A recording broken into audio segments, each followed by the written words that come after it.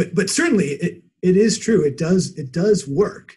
It has antiviral activity. It is able to stop the coronavirus, but with with some caveats. Hydroxychloroquine versus coronavirus. The analysis of a real scientist. Mr. Reagan. So it just so happens that my best friend from college is now an esteemed neuroscientist from the prestigious Washington University in St. Louis, Missouri. His name is Dr. William Buchser, and his research experience happens to be particularly relevant to the current situation because Dr. Buchser has actually worked both with coronavirus in the lab and with hydroxychloroquine. Dr. Buchser, thank you for coming on my show. Thank you, Chris, for inviting me. Glad to be here. Okay, so right now there are several promising treatments for coronavirus. However, none has garnered as much controversy as hydroxychloroquine. This is because Donald Trump cited hydroxychloroquine as a potential treatment pretty early on March 19th. And journalists don't tend to like Donald Trump very much. And so the news media went into a bit of a frenzy, claiming everything from Trump is giving people false hope to Trump has blood on his hands. And so this has become something of a fight. The news media want hydroxychloroquine to fail so that they can say Trump was wrong, and conservatives want hydroxychloroquine to succeed so that we can say the media was wrong. What we really need, and what we've really been lacking in this debate, I think, is actual researchers who have studied both coronavirus and hydroxychloroquine. We need these researchers to tell us if it is worthwhile to study this further. Now, before we get to the interview, um, I just want to say that Donald Trump earlier today announced that he himself is taking hydroxychloroquine. So let's take a look at that moment from the press conference. And a lot of good things have come out about the hydroxy. A lot of good things have come out. The frontline workers, many, many are taking it. I happen to be taking it. I happen to be taking it. Hydroxychloroquine? I'm taking it, hydroxychloroquine. When? Right now, yeah. Yeah, when, A couple of weeks ago, I started taking it. Hey, people said, oh, maybe he owns the company. No, I don't own the company. You know what? I want the people of this nation to feel good. I don't want them being sick. And there's a very good chance that this has an impact, especially early on. I haven't taken that other than an original dose because the, all you need, you don't have to take it simultaneously. But the zinc you do take. So I'm taking the two, the zinc and the hydroxy. And all I can tell you is so far I seem to be okay. All right, now the science behind hydroxychloroquine in one moment. But first, I have to sell you something. In the year 2020, it's so important to keep your body healthy. Collagen may be the closest thing we will ever have to a real fountain of youth. The older you are, in fact, the more likely it is that you've heard of the benefits of collagen. And for good reason. Many health experts now agree that consuming collagen is crucial to revitalizing how you look and feel. After all, collagen is the most abundant protein in your body, and it's the essential glue that holds you together. In fact, after age 20, people produce about 12% less collagen in their skin each decade. For some, it's an even greater decline. This means by the time you're middle aged, you could be producing half of the collagen you did in your youth. Even worse, various lifestyle factors that you may have been exposed to, like poor diet, smoking, pollution, stress, and sun exposure, can deplete your collagen levels even faster. In short, this year by year escalating loss of collagen is a key reason that people look old as they age. Skin sags and wrinkles, hair gets thinner, nails lose their strength, joints become stiff, recovery from activity and exercise slows, digestion digestion related complaints seem to come out of nowhere, and in general, our bodies seem to turn on us. But collagen peptides have the following benefits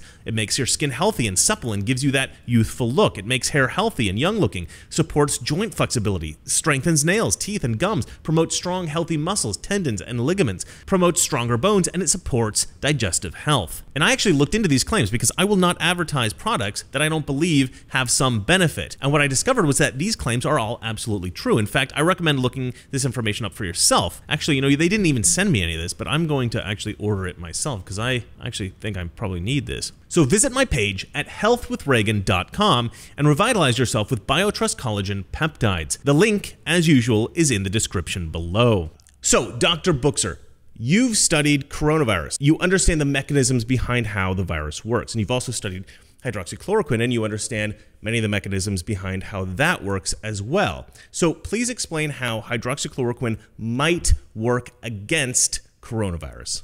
Okay, yeah. So, like you said, I, I used hydroxychloroquine uh, frequently a few years ago when I was at uh, Pittsburgh. And what we used it for was to mess with a process called autophagy. So, inside all of our cells, right? We cells make stuff all the time. They're always consuming lots of different things. They're consuming oxygen, they're consuming sugars, and they're making stuff. They're making the building blocks that make our body work.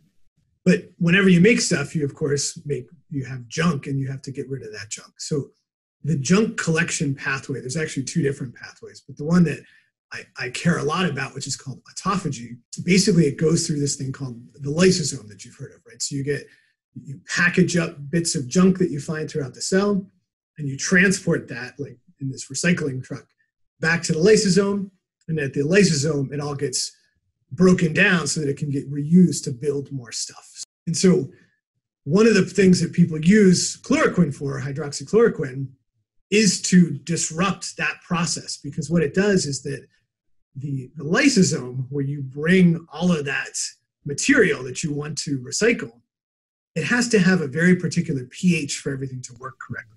And chloroquine gets itself in there and then screws up the pH. So basically what happens is that all of the, you know, the garbage trucks actually keep coming and trying to deliver material to the lysosome, but everything backs up there. Like it can't it can't finish, it can't do its job. You're disrupting one part of the process and that destroys the whole process. Exactly. And that shuts down this whole recycling process. So in the setting of virus, there's at least two different things that theoretically um, chloroquine should be able to do. The main, kind of the main reason that people were interested in this is that basically one of the things that this particular virus does is it hitches a ride on intracellular uh, cargo, right? So inside the cell, there's always packages getting shuffled and moving around. And, and one of these packages is kind of like the recycling system that brings that garbage to the to the, to the lysosome. And so the thought is, and, and there's some evidence for this, that if when you disrupt the lysosome and disrupt autophagy, if that were to stop all those kind of trucks coming into that garbage center, other trucks on other parts of other roads that the virus actually directly utilizes may also get kind of uh, stopped in the process. So it's like if you if you basically if you slow down the traffic everywhere, you'll slow down the traffic of the of the basically the cars that the virus is hitching a ride on, and that will make it harder for the virus to get to the right spot in the cell it needs to to do more than just go inside the cell, right? Because if the virus just goes inside the cell, it really doesn't matter. Nothing's going to happen. But if it, it gets into the nucleus and starts to take over our cell and basically turn it into a virus making machine, that's where the problem starts. So there's a few different ways that you might stop the virus from getting in and accomplishing that task. And one of them is to basically slow down the traffic or stop the traffic uh, along these pathways that the virus is known to use um, to get into like the deeper parts of the cell, if you will. All right. So now the big question: Do you think this drug or this drug with zinc does work against coronavirus? So, I mean, there there are now at least two papers that have that are really relatively recent that shows it works pretty well in cells, right? So, like cells that have been taken out of a body. Um, but even there, it has a little bit of a limited utility, and and just like you you caught on to the fact that I said it's, it's very bioactive, it also means it's it's very toxic. So, in some of the cellular experiments, the dosing that they needed to use to get the antiviral activity, which was which very good antiviral activity, was really close to the dose that this drug becomes toxic. So, but there's there is a sweet spot. There is a, a region where in cells it actually works very well to to stop the virus, and it is it's close to where it becomes toxic to the cells, but the cells were able to survive. And so there's there's this idea of this ratio, and different drugs have different ratios of like how high can you go on the dose and what's the toxicity? So we, we call this dose limiting toxicity right? So there's many things that would work amazingly well if we could just up the dose twofold or tenfold but then they would kill you. You know another tricky thing about that is that's just in cells that are outside of the body and both being you know in the body could change it in both directions right so it could be the body helps us by metabolizing it and making it a little weaker or it could be the other way that it, it gives us side effects in the body which we know about there's there's quite a few side effects but but certainly it, it is true. It does it does work. It has antiviral activity. It is able to stop the coronavirus, but with with some caveats. Do you completely rule out the possibility that there is some mechanism that you're unaware of, or that most uh, researchers are unaware of, that could be helping to combat coronavirus? Yeah. So in addition to the mechanisms that I said, which which I think probably there there is some effect, there, there could be others. Like, and we actually don't know all of its mechanisms of action. Um, this is a very bioactive chemical, and so I and others have done screens to look at like many many different thousands of chemicals, and hydroxychloroquine always comes out because it's just it's really active. It gets into the cell and it can mess with stuff. Uh, and so that's that's cool. And so people have found really great use for it for it both in kind of autoimmune circumstances as well as helping the body defend against parasites. So we we actually don't fully understand how those things work, but it probably has to do with this ability for it to mess up the lysosome and mess up autophagy, right? Because if you're an immune cell and you're overreactive in like an, an arthritic setting, and you're going around and this immune cell is causing inflammation, then it could be that that immune cell for some reason is more sensitive. It needs it needs autophagy to help remove damaged things. And if you screw up its autophagy, if you screw up its lysosome with chloroquine, now it's not as inflammatory, right? It kind of forces it to chill out. But, but this is an interesting question for exactly that reason, because it could be that hydroxychloroquine has other um, bioactive properties that happen to actually work well for the uh, for this virus. It, it certainly is possible.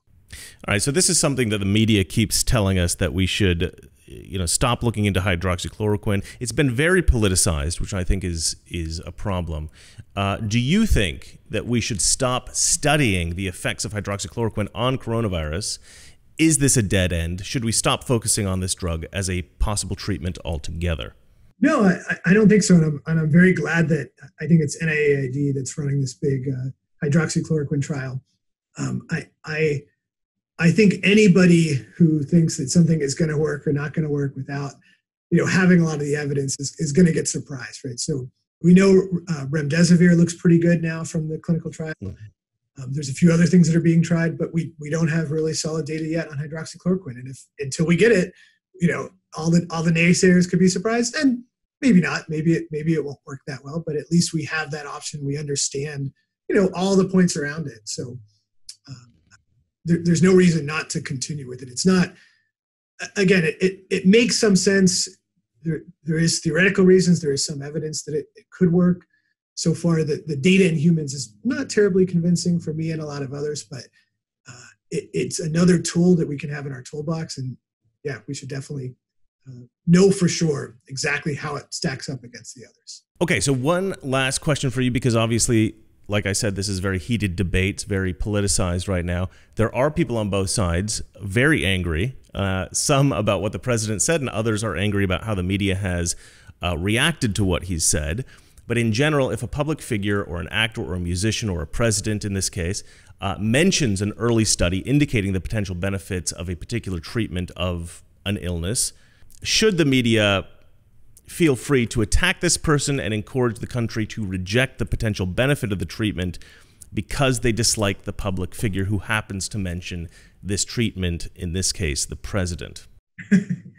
well, of course not, right? I mean, that's and hopefully the like the one thing that, that everybody can can take from this is just when you when you see studies that have data, don't don't be scared of it, right? I mean, you guys all everybody feels comfortable about looking at saying like, oh, what what is the rate? How how did people get better faster? Did less people die? And, and ask, you know, both how did they do when they were on this whatever drug it was, hydroxychloroquine or remdesivir, whatever, and and how did the people that were um, not getting that drug do? And and they can think about it for themselves, and, and certainly don't let the either the media or public figures who you may or may not like uh, be the sole factor for deciding. All right. Well, thank you so much, Dr. Buchser. Uh, you clearly know what you're talking about. And uh, I think that that was incredibly valuable information that I think is sorely lacking from the conversation um, around the nation right now. So thanks for coming on the show. And uh, thanks for being my best friend in college. Chris, thanks very much for having me. All right. Uh, thanks, everybody, for watching. I hope that informed you a little bit uh, about hydroxychloroquine and coronavirus. Have a good night. Together, with God's help, we can and will resolve the problems which now confront us. And after all, why shouldn't we believe that? We are Americans. God bless you and thank you.